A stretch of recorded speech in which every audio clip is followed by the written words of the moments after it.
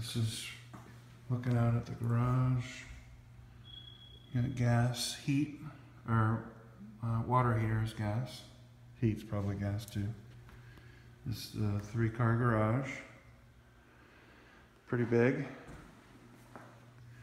Um, AC looks to be from 2002. So it's older, but it's got some life left on it.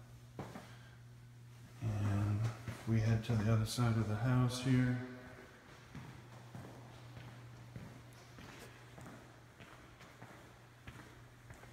We've got um, a secondary bath that would be a pool bath if there was a pool out there. Uh, but there's not. This would be a second bedroom. It's a decent size, pretty long, big closet. Um, and then this is uh, split.